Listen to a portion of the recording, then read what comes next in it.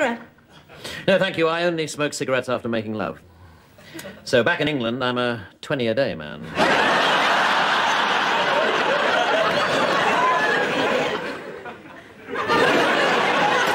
A man should smoke. It acts as an expectorant and gives his voice a deep, gravelly, masculine tone. God, I love nurses. They're so disgustingly clinical.